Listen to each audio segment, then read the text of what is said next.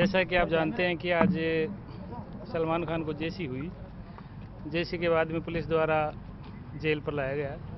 तो जेल में जो प्रक्रिया निर्धारित है, उनको अंदर किया गया और उनका प्रवेश किया गया। मैंने समाचारों में और फ़ोन बहुत आ रहे हैं कि उनका नंबर क्या है। उनका नंबर 106 है। 106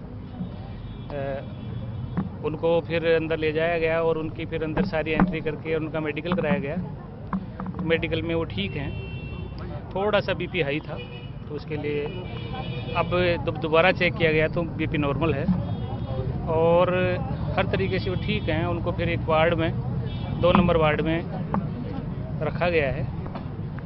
उनकी तरफ़ से अभी तक ऐसी कोई बात नहीं आई जो नियम विरुद्ध हो या कोई उन्होंने डिमांड अभी तक नहीं की है। बाकी उनके साथ जो थे, शायद शेरा नाम है उनका, वो उनके कपड़े दे के गए थे।